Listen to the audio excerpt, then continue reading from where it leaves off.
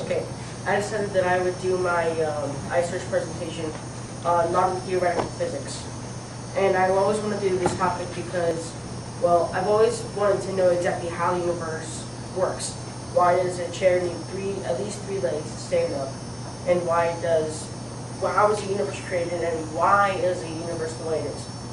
In the uh, Department of Science, that is the cutting edge in trying to solve this mystery, is uh, physics, especially theoretical physics, string theory. Um, and my question was, what is string theory? What's its potential?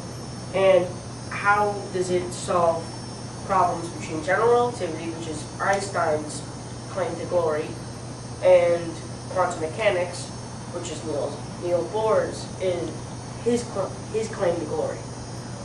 And um, well, I originally thought my the answer to the question would be string theory has the potential to be the ultimate theory, the one that the theory that describes everything in the unknown universe, every single phenomenon, why the way why the universe is the way it is. And as to why it solves the differences between general relativity and quantum mechanics, I thought it modified quantum mechanics to be compatible with general relativity, and I didn't really know the details on how this was done.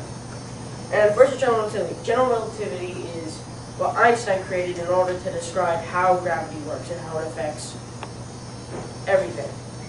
It describes all the big stuff, the planets and the galaxies and the stars. And gravity, what he found gravity was, was really a warping of a four-dimensional space-time now, four dimensions. It's up, down, side, side, forward, backward, and past, future.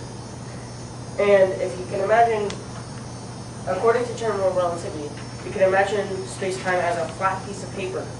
It's featureless on the surface, but then it says it's not completely flat because gravity warps space-time. So if you look at the big picture of the universe, it'd be a piece of paper that's been stretched and twisted in a whole bunch of sorts of different ways.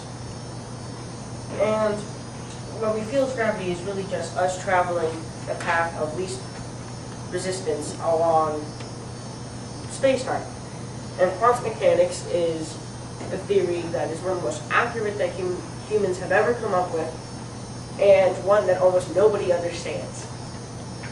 Um, when it describes all the small stuff, the subatomic particles in the how the way the universe works at an ultra microscopic level, about the Planck length, which is um, point 32 zeros with the one of a centimeter.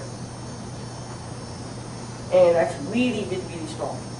Um, it describes everything that goes on at that level. And there's no such thing as a smooth space-time. It's like you take a piece of paper and you twist it so that you have loops in the paper, and it's warping and tearing and ran completely random with no regard for anything else that's around. So left right has no meaning, up down has no meaning, forward backward has no meaning. You can be two places at once, and you can get somewhere before you actually arrive there. So time has no meaning either at that level. And string theory. String theory is the only successful theory to bridge the two theories because quantum mechanics always says no smooth spacetime and general relativity says it's naturally smooth and the two won't stitch together at all. And then you have string theory which says there are 11 dimensions and the smallest particle is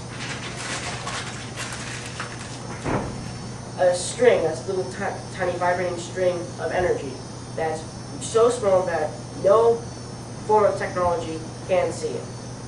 That we know of. And that's one of its weak points. There's no way we can test it, so it's a philosophy at the moment. There's no way we can really test that. And it bridges the two because it adds the 11 dimensions, which basically allows quantum mechanics, the quantum foam, which is what they call jittery space-time, uh, to calm down so that the two bridge together. General relativity and quantum mechanics bridge together perfectly. Um, and as I said, there's no really no way to test it. And what I found was that the, I was right about the string theory being, like, potentially being a theory of everything. But what I didn't know was exactly how quantum mechanics and general relativity were combined according to string theory. And that's my presentation.